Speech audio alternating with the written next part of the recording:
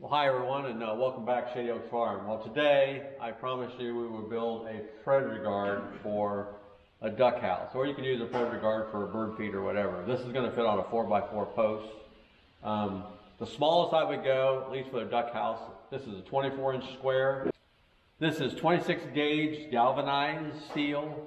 Um, it's, it's rather thick to work with with tin snips, but it can still be cut. Um, you can buy this at Lowe's or Home Depot, Menards, something like that. I found this at Menards. I, not, I have not found any galvanized steel 26 gauge at Home Depot or Lowe's, but you can buy 28 gauge aluminum um, at the same like for 24 by 24 or 36 by 36.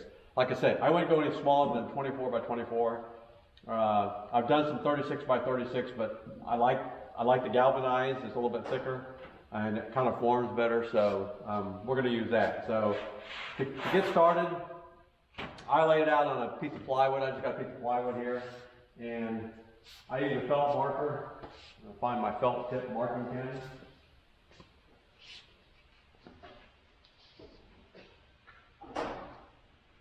And since I've made a few of those, I have a couple things I do. So the first thing I do is take a measurement and find the center.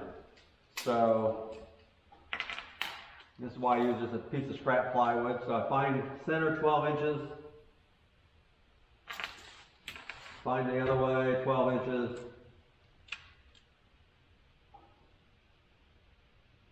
And then go back again and mark at 12 inches. So, the reason I want to find the center, because I got to make a circle. Because I'm going to cut this in a circle in order to make the cone. So the first thing I do, I made a little stick, and you don't have to do this. You can a drill bit. Hold on. Got my tools behind me a little bit. So I drill a hole in the center.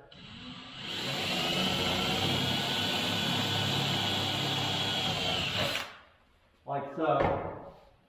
And I made this stick for making circles. I use this for a lot of different things. So I got two and a half for five inch circle, 12 inches for 24, 18 for 36. So remember, half the distance. So what I do is I take a screw,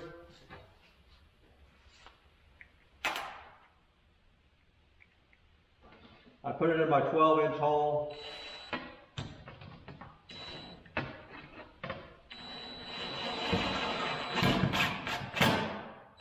screw it down and make sure I got plenty of room to spin this thing around. I gotta move my tools out of the way because it will hit. Like so. And then what I do is I take a felt tip pin and I put a hole in there to fit a felt tip pin in here. I just hold it pretty much straight up and I do my circle. You can use a piece of string. You don't have to use, I did that, first time I did these, I used a piece of string. And that works too, just put it on a nail or something. But when you do several of these, this is so much easier. So there's my 24 inch circle. And then what I do, for a four inch post,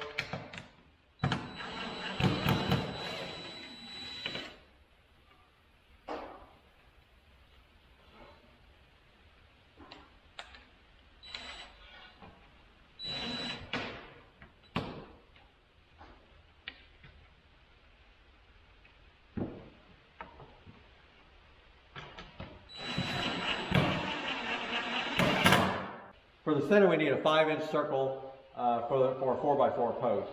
So what I do here, I use my same stick, draw me a circle, just spin it around, get my tank razor out of the way.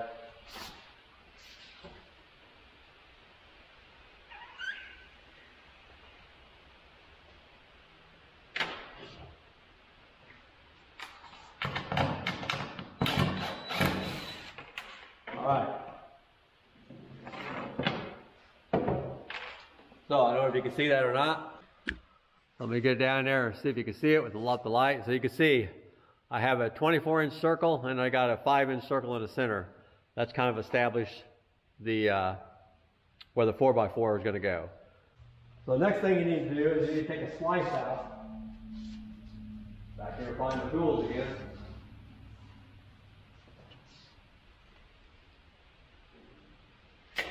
So you need to take it for it for a to make this a cone. You got to take a an eight inch slice out, like a pizza slice. So I'm just going to mark it. Get my felt tip out.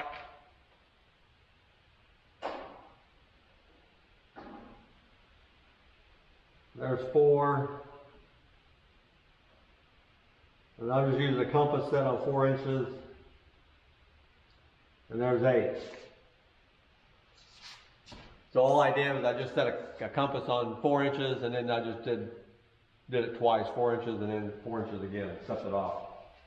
That's the easiest way I found for the circle. Then take a straight edge. I'm just going to use my marking stick.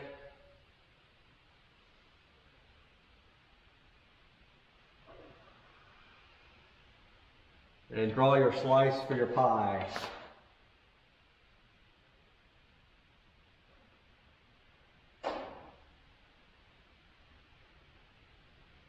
Like I say, these not hard to make. The hardest part is you got a good pair of tin snips, and then the other hard part over trial and error, as I found, is creating the cone itself. Right now, I just have a, a you know an eighth inch hole in the center.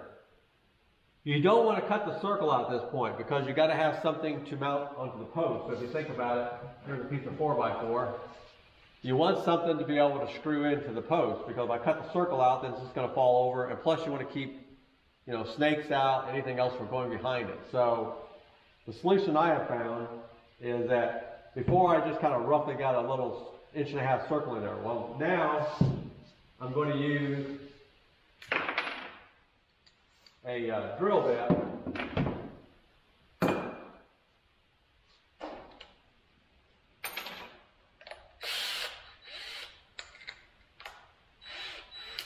So I'm going to use a hole saw bit, and I'm just going to draw a, drill a circle in the center with a hole saw. And that will give me my circle for me.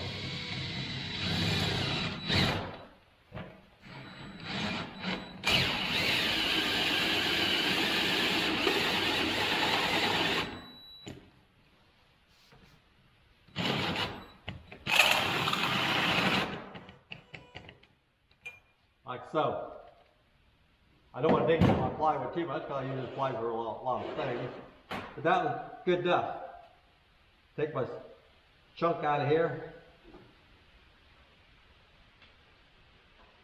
And you'll see what I'm talking about later when I get to that point.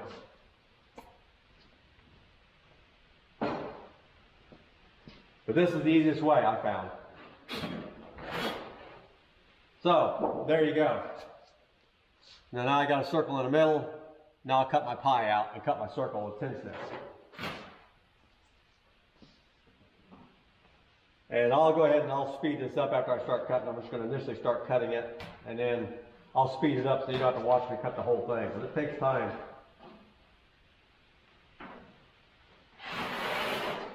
So just taking a pair of tin snips and if you ever use a pair of tin snips, depending on which way you're holding them, you got them this way or this way, it depends on which way you can cut around in a circle. So I'm going clockwise. You can go counterclockwise. It doesn't make a difference. You just have to flip your cutters over.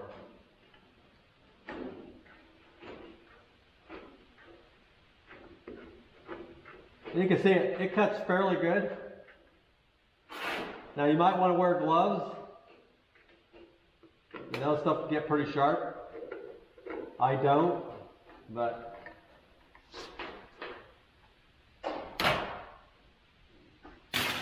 you got soft hands or something, you know, I don't know.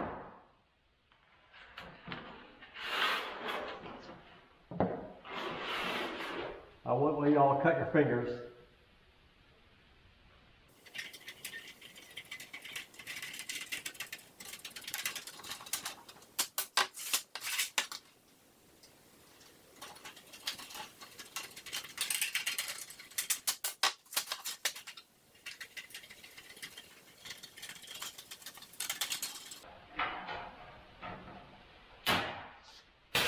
All right.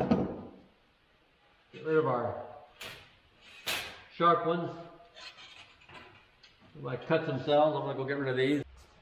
All right, so there's my circle. That wasn't too bad. Now I'm gonna cut the pie out. Same thing, take the tin snips.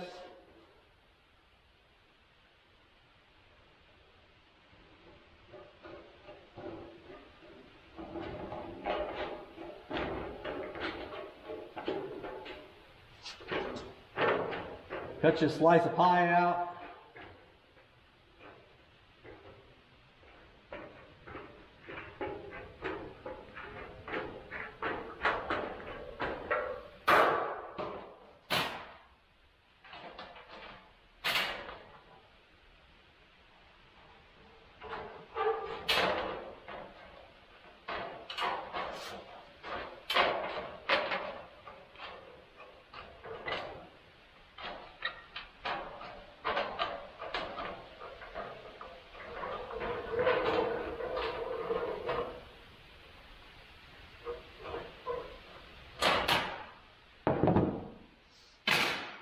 All right, so there's my pizza pie out, and now we're ready to form the cone. So this is probably the most difficult part some of you will have because depending on what you got, you can use screws. I use screws and rivets, but I replace the screws with the rivets. I like to rivet them. But the first thing you want to do is shape the cone. So get you a clamp or something and this would be easier if you had two of you.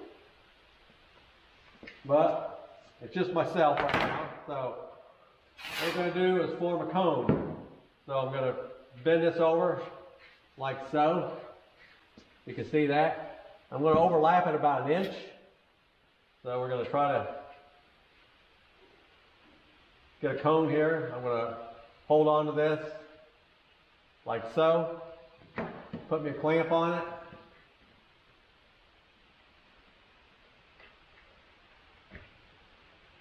Like I say, it's a little tough by yourself, but you can do it. All right. So there's partial my cone now. Now we're going to put a screw up top there. So I'm going to change this clamp around. I want this clamp sitting the other way.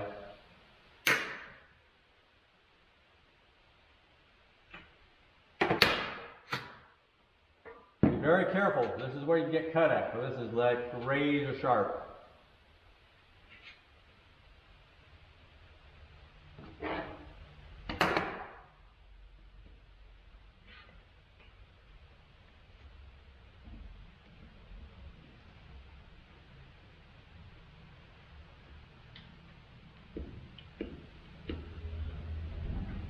Reason I want to do that, I wanted that clamp to sit like that. So now you can see I got my cone so we're going to bend this around. We're going to overlap these two all the way down.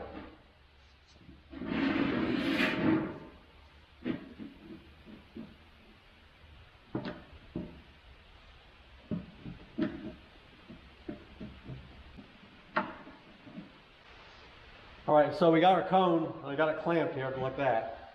So next what we're going to do is we're going to relieve a little pressure off the center here. So what we're going to do is we're going to take our 4x4.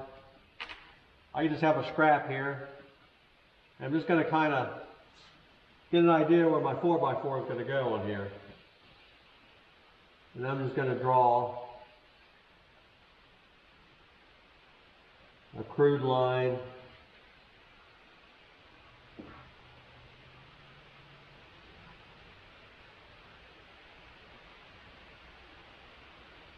That has to be perfect. So, what I did, I just kind of drew where my 4x4 is going to go there. And what I'm going to do is now, I'm going to take my marker and I'm going to cut, I'm going to put an X in here.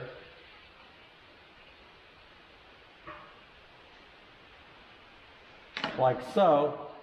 So I made an X in there like so. And the reason for that being is that I want to be able to save material here to put my screws on when I put it on the post. But right now I need to relieve some of that pressure in order to make that cone. So right now it's having a hard time to form. So I'm just going to take my clippers and cut these. In fact, you can take it off if you want to now. We have our uh, our X in place. So let's go ahead and undo this.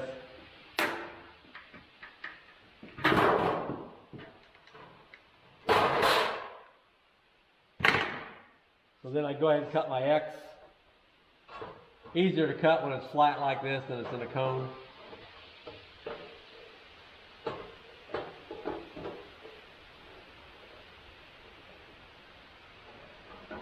And you might have to clean this up a little bit later, make the X's bigger, but you can do that.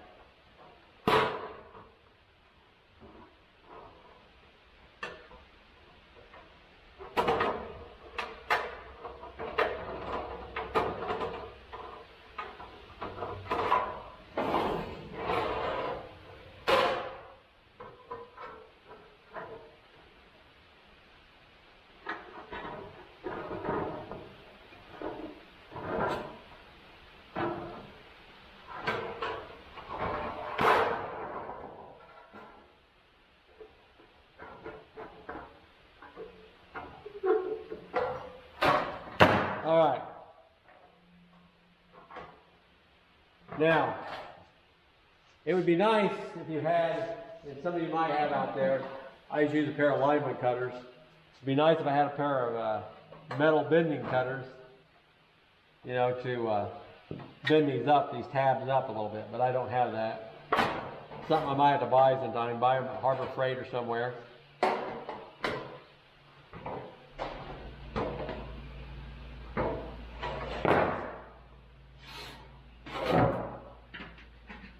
All that goes much, much easier this way now. So go back. We're going to clamp it.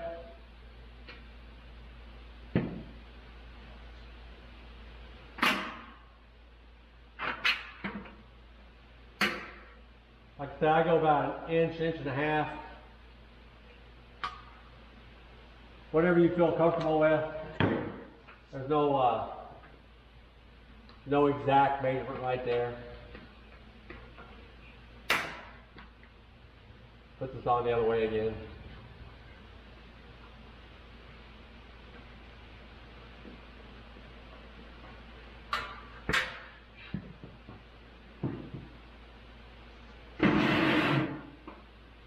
Now be very careful because this stuff is sharp.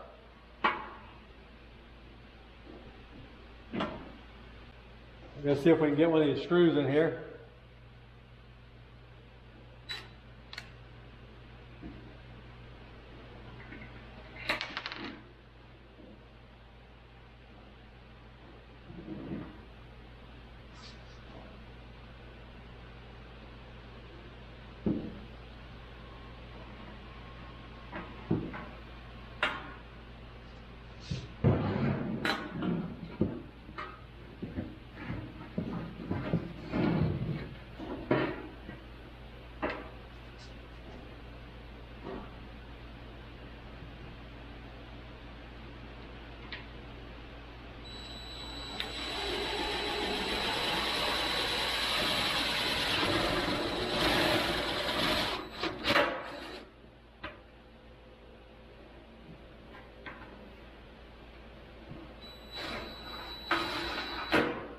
Once you get a screw in there, it makes it a lot easier.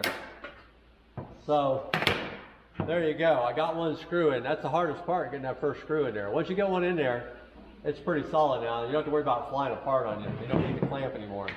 It's getting that first screw in that makes it tough. And like I say, I'll replace that screw with a rivet, and I'll show you what I do with the rivets. But right now, I just want to get one in there so I can get this together. And our hole doesn't look great up there right now, but we'll clean that up. That's not a problem. But we're going to put another screw in up top, and then I'll replace that with a rivet. Like I say, you don't have to do that. You can use these screws. These are just, like I say, I got one inch. You can probably use, or these are three quarter maybe. These are three quarter. You can do a half even probably. You don't need them this long. And it won't hurt a thing if you just leave the screws in there.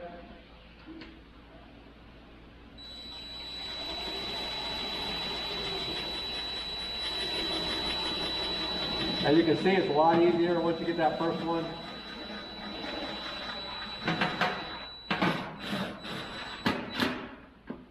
How easy that went in. That second one went real easy. So now I got two in there. But now what I'm going to do is, I'm going to get me a drill bit. Alright, so I'm going to do rivets. I'm going to get you a 3 16 inch drill bit. That's what my rivet sizes are.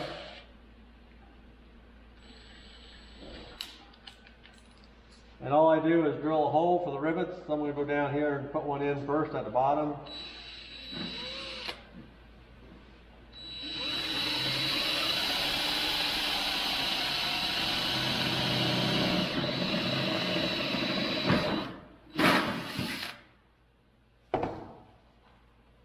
I don't know if you've ever seen rivets before, but they're just a, they got a little nail, they call them nail on there, and then you got the rivet itself.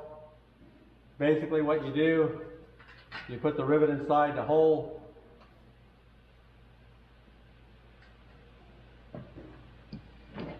This is a rivet gun.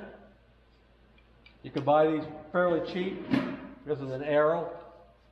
And they got different size rivets. You can change the, the uh, bushing on it depending on what size you want. So I'm putting a 3 16 which is pretty good size by 8. So my rivet is an eighth inch wide. And then all you do is squeeze the handle down. And make an air one too, which would be nice.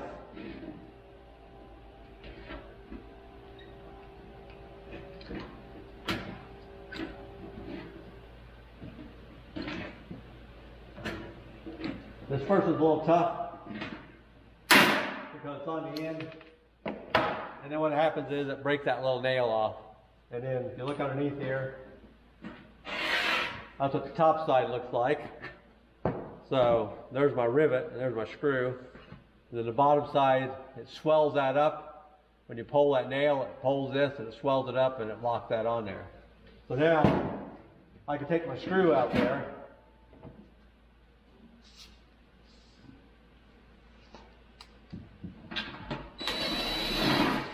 What I'll do is I'll just put a rivet in that hole.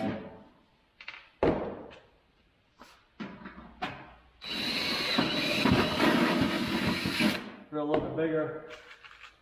Take me another rivet. Stick in that.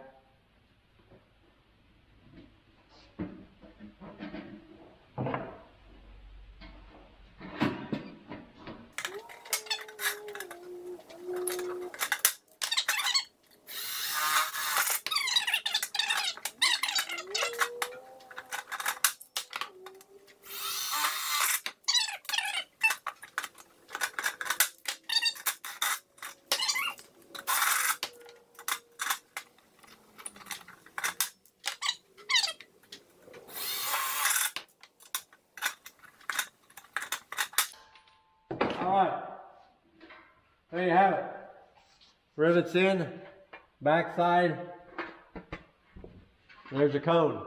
Now the hardest part. I always say it's the hardest part. Every part is hard, right? It's not really that bad, guys. And girls. All right, so my 4x4, I got it in there somewhere like so. This is where it would pay if you had a metal working tool, but I'm just going to use a pair of lineman cutters, pliers, anything you got, and bend these tabs up. Next thing we got to do is stick that 4x4 in there.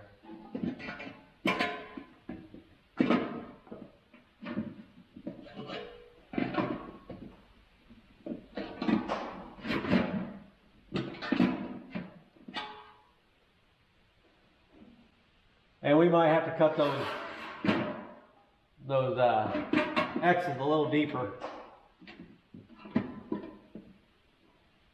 That's not a problem once you do this. We'll clean it all up here.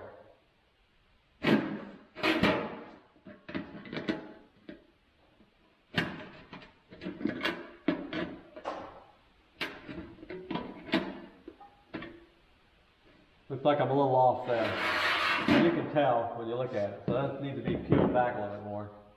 So we're gonna make this X a little bit bigger.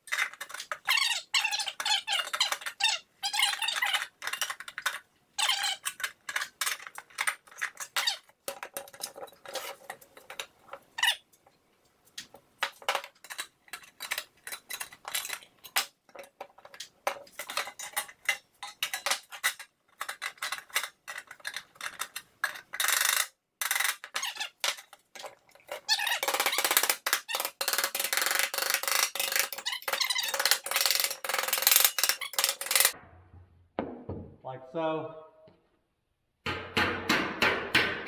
Now remember, you want to, and once you put it on the post out there, you can also take the hammer and bend these corners around a little bit. Keep anything from coming up in there like a snake or something. You just don't want a big gap there. So now what I do, I got the fit on there.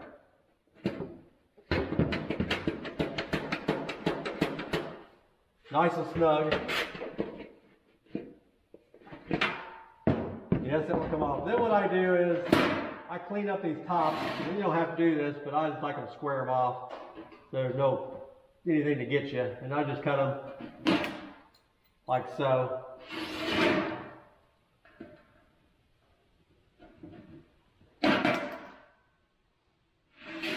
Just you just need something to put the screws in.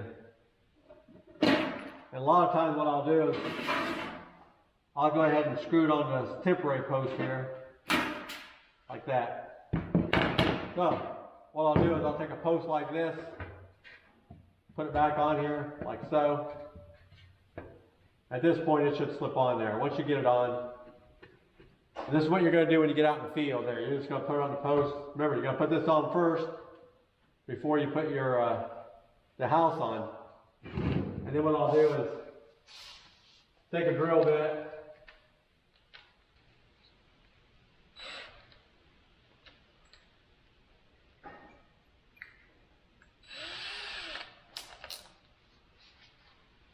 What I do is I just take a drill bit, go ahead and pre-drill these.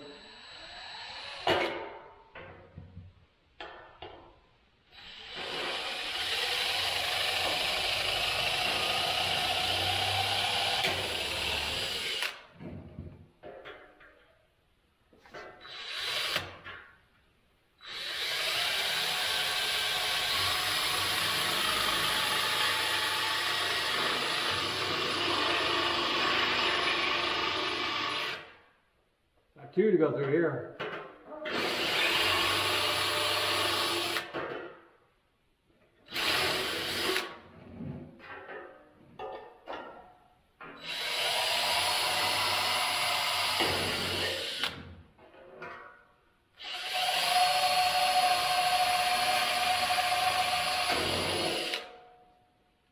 And then what I'll do is I'll like take a screw. It's got a head on them.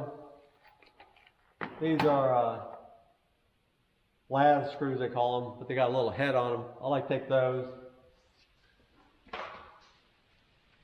And I'll go ahead and fasten on this post now just to have it sitting there. That's how I keep it.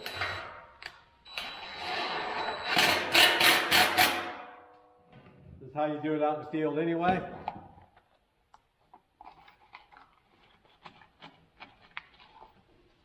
Like I say, this doesn't have to look pretty, but it has to be effective.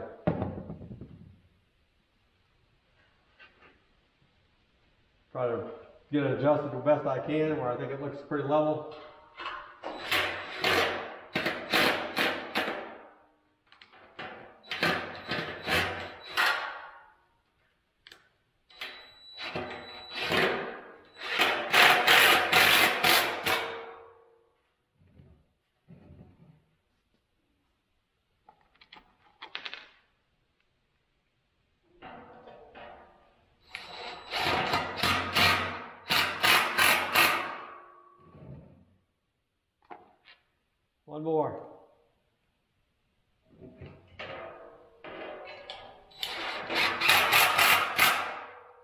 Say, if I was out in the field, I'd take it,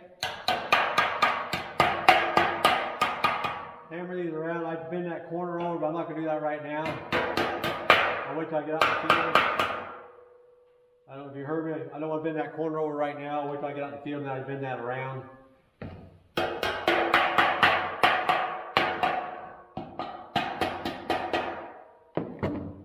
And so there you have it. There's your predator guard.